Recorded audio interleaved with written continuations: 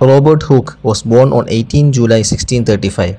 He was an English polymath, active as a scientist, natural philosopher, and architect who is credited to be one of the first two scientists to discover microorganisms in 1665 using a compound microscope that he built himself, the other scientist being Antoni van Leeuwenhoek in 1674. His field of interest was physics and biology. Hooke was also a member of the Royal Society and since 1662 was its curator of experiments.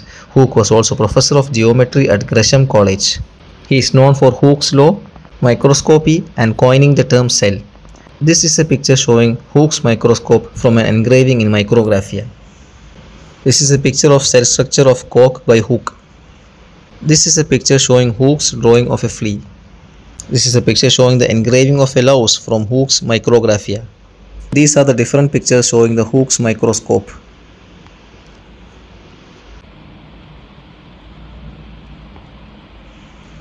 Robert Hooke died on 3 March 1703 at the age of 67 years in London.